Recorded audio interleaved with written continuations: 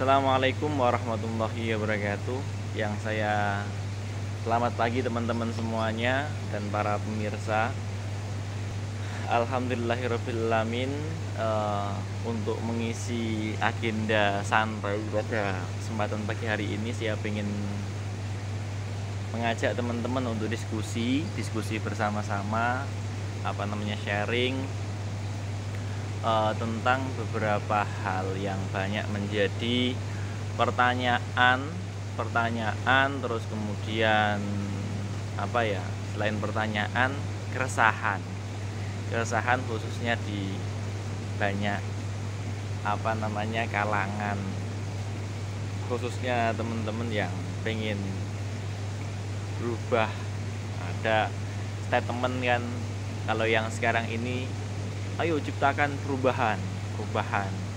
Perubahan yang bagaimana ya toh. Oke. Saya akan saya sudah mengumpulkan beberapa pertanyaan. Yang pertama apa? Apa yang menjadi hal pokok terpenting dalam apa namanya jiwa jiwa seorang manusia yang menjadi faktor kunci untuk bisa berubah untuk bisa baik, untuk bisa berbuat baik. Oke.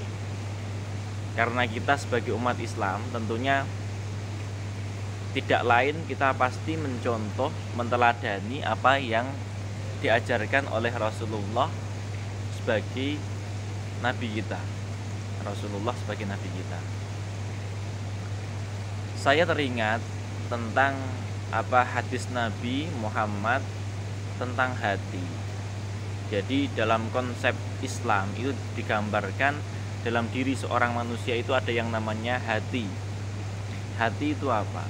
Jadi diterangkan di dalam hadis itu berbunyi apa namanya Inna fil jasadi mudhotan idza soluhat soluhatil jasad wa idza fasadat fasadatil jasad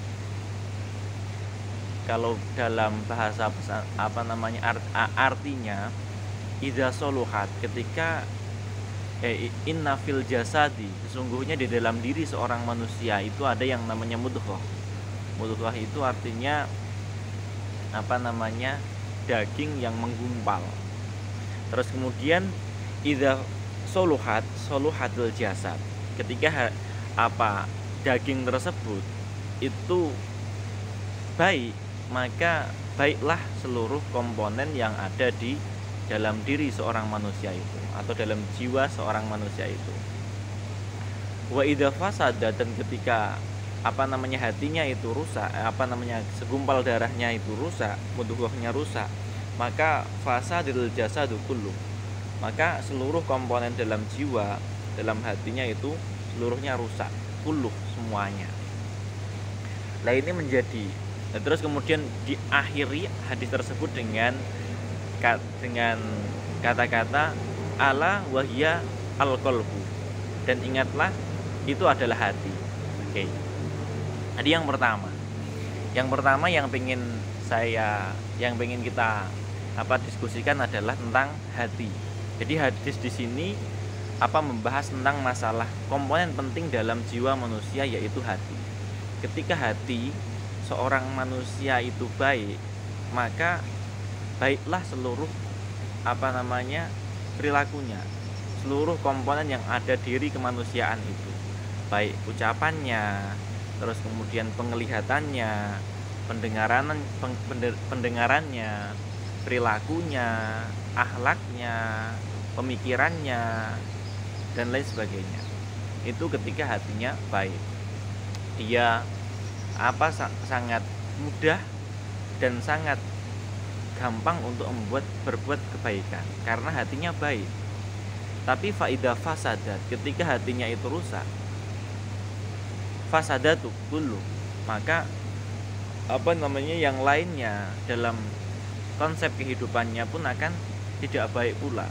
Perilakunya kurang baik perkataannya kurang baik terus kemudian ucapannya menyelekit dan lain sebagainya. Ini penting untuk kita pahami bersama-sama. Ala wahya alkohol. dan itu yang namanya hati hati itu kalau dalam konsep Islam kita belajar secara lughah atau bahasa al-qalbu itu artinya apa namanya dengan definisi yang memiliki arti secara harfiah yaitu berbolak-balik ada kalanya baik ada kalanya buruk dan lain sebagainya. Nah bagaimana kita mampu mampu bagaimana cara kita mampu menstabilkan? Jadi ya nggak baik nggak apa namanya tidak baik-baik banget tapi ya nggak buruk-buruk banget gitu loh. Ini bagaimana? Oke. Lah maka tentunya setelah kalau kita memiliki sebuah keinginan untuk menjadi seorang yang baik maka tentunya selanjutnya agenda kita adalah e, kita harus tahu bagaimana menciptakan hati yang baik itu. Oke. Sekarang kalau kita belajar bersama-sama dalam konsep Islam lagi diterangkan. Manusia itu untuk bisa untuk bisa hidup untuk bisa melakukan sebuah aktivitas berpikir hidup melek tidur dan lain sebagainya tentu membutuhkan sebuah yang namanya tenaga. Tenaga tenaga yang menopang untuk bisa bergeraknya seluruh anggota badan. Lisan ini bisa berbicara karena kita punya tenaga. Mata bisa melihat karena kita punya tenaga juga. Telinga kita bisa mendengar karena kita punya tenaga. Lah dari itu penting rasanya padahal tadi kalau kita koneksikan antara tenaga dengan hati tentunya hati pula akan banyak terpengaruh oleh tenaga tadi seperti itu. Lah kalau kita koneksikan dengan sebuah hadis selanjutnya yaitu apa namanya uh, kita lanjutkan kita koneksikan dengan konsep ajaran Imam Ghazali beliau menyampaikan bahwasanya dalam diri manusia itu tenaga itu bisa muncul bisa tercipta karena adanya topang topangan atau amunisi dari sebuah makanan makanan nah kalau hati kita pengen baik yang hati tadi memberikan apa efek terhadap bermacam-macam perilaku, aspek-aspek kehidupan, maka kita harus memperoleh tenaga amunisi yang baik. Dan amunisi tenaga yang baik itu hanya dapat diperoleh diperoleh dengan apa? Dengan makanan yang baik. Nah ini. Jadi ketika kita pengen.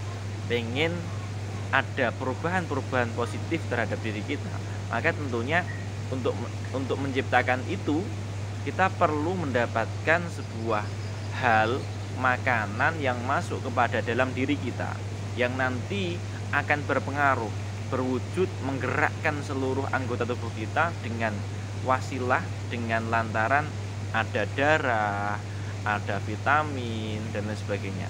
Kita makan diolah oleh perut ya toh, diolah oleh perut terus kemudian saripati. Apa makanan yang kita makan tadi menjadi apa menjadi sebuah energi darah yang akan memompa memompa pergerakan tubuh ini sehingga kita mampu beraktivitas dengan baik dan ampasnya terbuang atau BAB kita buang ampas tadi toh seperti itu. Lah, ketika makanan yang kita makan itu baik, maka tentunya akan menggerakkan diri kita ke arah yang positif. Kalau halal halal. Halal dalam arti ya cara memperolehnya dengan baik kemudian makanan itu adalah makan yang baik. Maka akan berpengaruh. Berpengaruh kepada hati kita dan hati tadi menggerakkan seluruh anggota tubuh ke arah yang positif tapi kalau makanan makanan yang kita makan aja sudah nggak ceto atau bahasa bahasanya subhat nggak jelas atau mungkin bahkan haram maka ya endingnya kita akan sulit untuk bisa e, memiliki kapasitas amaliyah yang baik seperti itu. Ini saya kira penting untuk kita pahami bersama-sama. Oke sampai sini kira saya kira teman-teman paham lah itu jadi dua komponen penting ini tadi. Satu yang yang pertama hati. Hati itu berpengaruh kepada seluruh apa namanya amaliyah dan kehidupan kita. Apabila hati kita baik maka akan baik semuanya. Dan apabila buruk maka akan buruk semuanya. Kemudian hati yang baik itu ditopang dipengaruhi dengan salah satu secara biologis adalah makanan. Makanan yang baik makanan yang halal.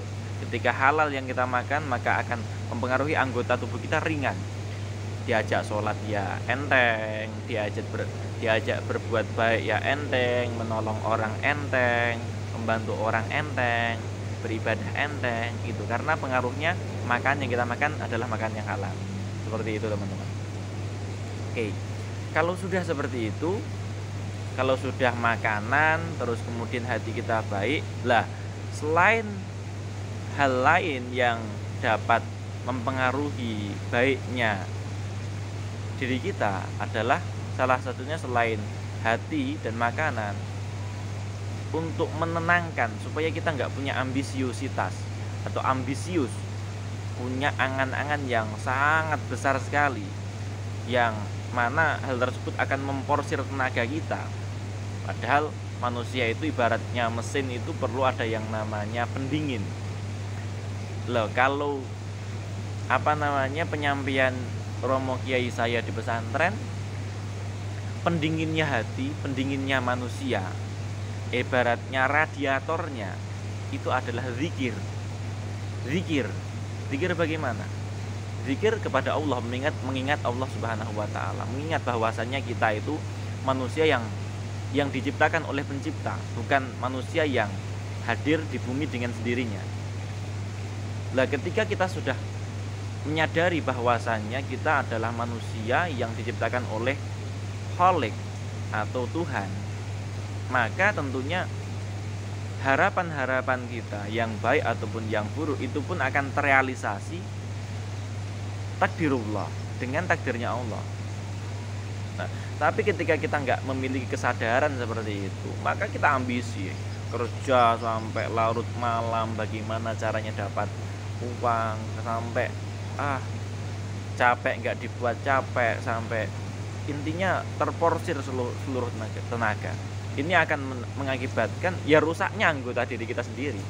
Rusaknya kita sendiri.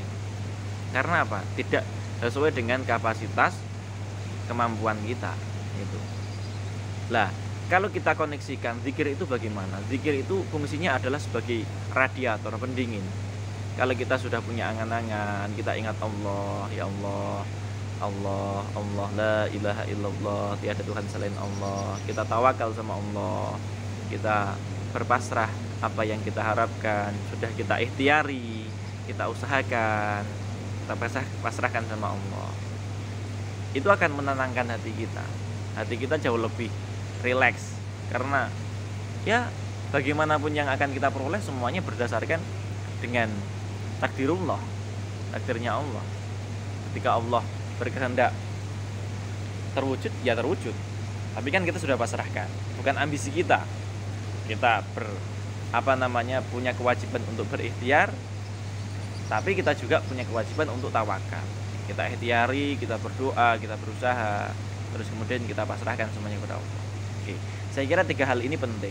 Yang pertama hati kita itu baik dengan konsep seperti tadi dan hati yang baik itu akan diperoleh yang hati yang baik akan berpengaruh kepada berbagai aspek kehidupan baik komunikasi dan sebagainya.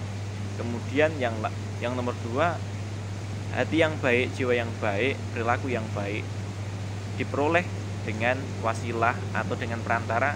Kita memiliki tenaga yang tenaga itu dihasilkan dari makanan yang baik surplus makanan yang baik itu nah makanan akan menghasilkan tenaga ada darah yang akan memompa diri kita sehingga mampu berperilaku ber apa namanya amaliyah yang baik ataupun yang buruk.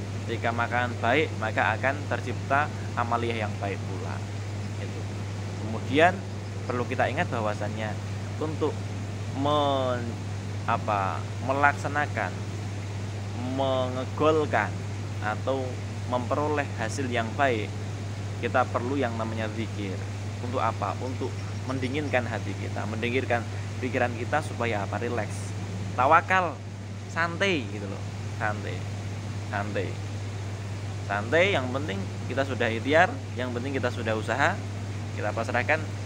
Oleh atau orani ya semuanya kita pasrahkan sama Allah. Tapi kita usaha bener-beneran.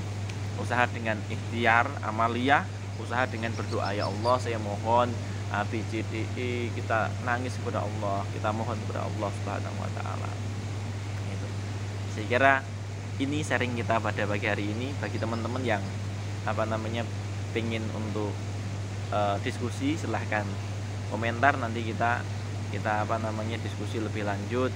Apa yang mungkin perlu kita diskusikan lebih lanjut terkait tentang masalah apalah mungkin tentang masalah komunikasi atau tentang masalah fikih atau tentang masalah apa.